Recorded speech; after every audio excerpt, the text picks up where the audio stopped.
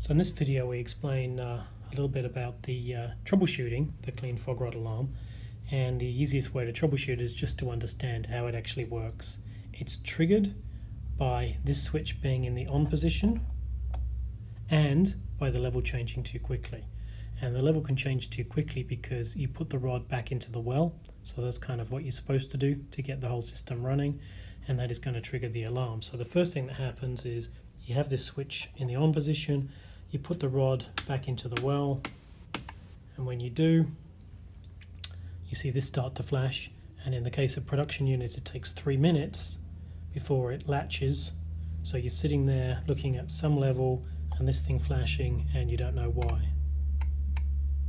After three minutes with the production unit, the relays will come on, you'll start your pump. This fault goes solid, which means it's latched, and these level LEDs are flashing and you think, hey, why is this doing this? It's just because you put the rod back in the well and that's a very fast level change and the LIT says there's uh, some concern there. Once you get used to it, it's very simple. Just clear it and you make it go away. Of course, the first time it happens, you think, um, I've just cleaned the rod, I put it back into the well, and now it's telling me to clean it again. So, uh, obviously, a little bit of training for people just to understand that. That's the uh, the biggest reason for uh, this fault being confusing for people. Second reason is, let's say we've um, it's in the on position, middle of the night, a rag comes in, attaches itself to the FOGRod, and the level rises up on the rod. And when it does it happens to make a bunch of contacts turn on together. And um, that will turn on the fault relay that's good notice we haven't turned on all the level relays until such time as the timer runs out which is three minutes in the uh, normal unit so 20 seconds in this demo case after three minutes we turn on our pump that's assuming that's our lead start point and um, we've latched this fault on. Now the level empties in the well.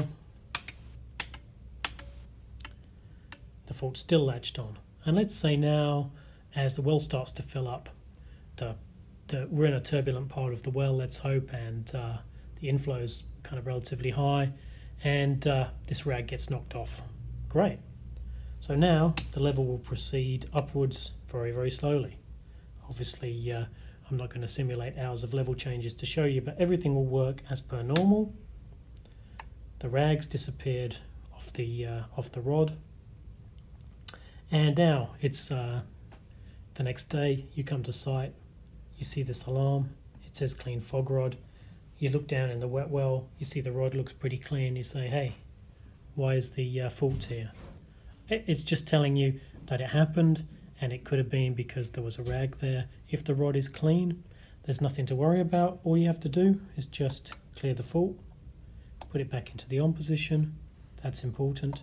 Don't turn it off because you don't understand it. Put it back into the on position. And now everything will work as normal.